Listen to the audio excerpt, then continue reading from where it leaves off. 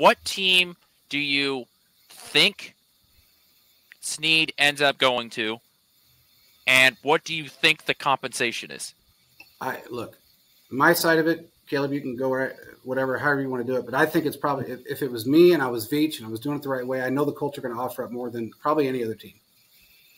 So I would probably either go with the Colts or Minnesota is not the greatest choice, but I think it, I think it would probably be the Colts. Mm-hmm. Yeah. Arizona, I, don't, I don't know if he would go to Arizona. Wow, mm. I don't really.